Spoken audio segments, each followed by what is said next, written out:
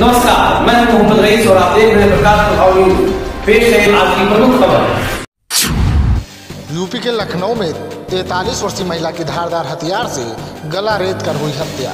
महिला की हत्या से ग्रामीणों में दिखा अफरा तफरी का माहौल। महिला की हत्या कर बदमाश हुए फरार।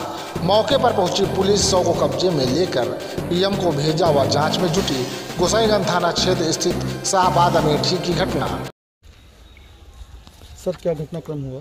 देखिए, आज थाना गोसाईगंज क्षेत्र में अमेठी कस्बा के पास शहजादपुर गाँव में सुबह में पुलिस को सौ नंबर पर सूचना मिली कि एक महिला की गला काट कर हत्या कर दी गई है और उसके बाद पुलिस मौके पे आई है।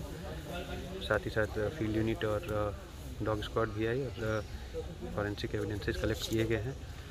इसके अलावा इसी घटना के लिए टीमें बना दी गई हैं और जल्द जल्द इस घटना का आगे की विधिक प्रक्रिया की जाएगी और अग्रिम बॉडी को पोस्टमार्टम के लिए भेज दिया गया है और अग्रिम विधिक कार्रवाई सर कोई रंजिश वगैरह का कुछ सामने आया है देखिए कोई भी चीज़ है अभी इन्वेस्टिगेशन की डिटेल्स नहीं बता सकते हैं। जो भी फर्दर डिटेल्स जो क्लियर होंगी और आगे चीज़ें आएँगी तो आप लोगों के साथ शेयर की जाएगी